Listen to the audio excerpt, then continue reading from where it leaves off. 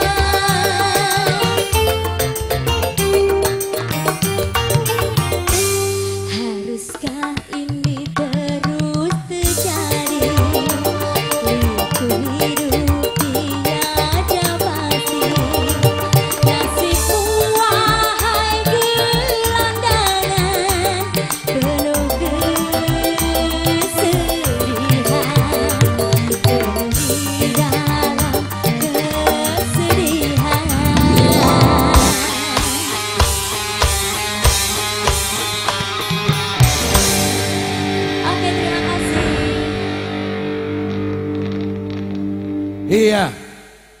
Rahmat ilahi sudah kita persembahkan semoga di malam hari ini buat yang request juga mempelai berdua juga kerabat kerja semuanya bisa terhibur selalu malam ini.